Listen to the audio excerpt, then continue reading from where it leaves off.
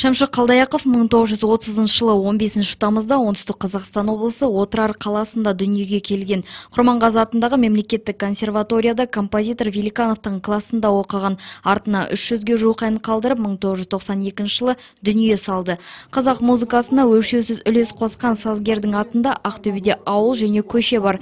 Бүгін қаладағы бұрынғы Скулкин, қазіргі Шамшы Қалдаяқов атындағы көшеде нөмірі 2 үйдің қабырғасында халық әртісінің құрметіне орнатылған ескерткіш тақта салтанатты жағдайда ашылды. Осы көшенің маңдайына ағамызға бір ескерткіш тақта қойсақ екек деген. Міне бүгін соның да сәті түсіп отыр. Шәмші ағамыздың өлеңін тыңдамаған шәмші ағамыздың өлеңін айтпаған бір де бір қазақ жоқ. Қазақ вальсінің королі аталған.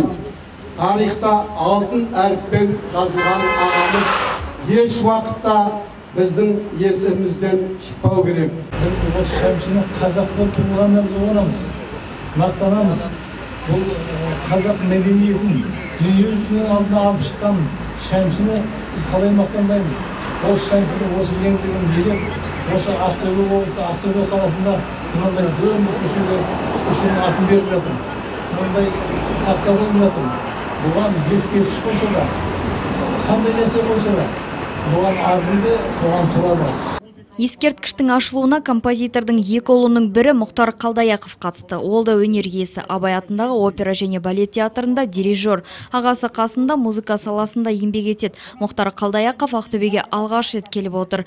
Ертең ол әкесі жас шағында ветеринар болып жұмыс жасаған темір ауданына сапарлап қайтпақ. Үш жыл бұрын үлкен концерт мен өзім оперный театрда жүргіздім өткіздім өткіздік сексен жылға арнап үлкен кітап ән, ән папаның әнінің кітабын шығардым шәмші қалдаяқов әндер деген кітап шықты 80 жылға арнап ақтөбеліктер өзі өмірден өтсе де артында өлмес өнері қалған ел жұртын әнге бөлген әйгілі композитордың аты осы көшеге берілгеніне өте риза. Алпыс алтыншы жылдан бері осы көшеде тұрамын.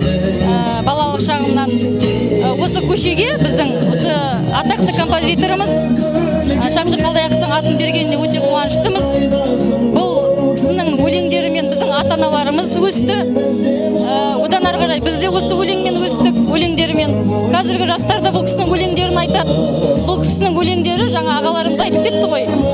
Ешқандай қарапайым сөзді қажет етпейді.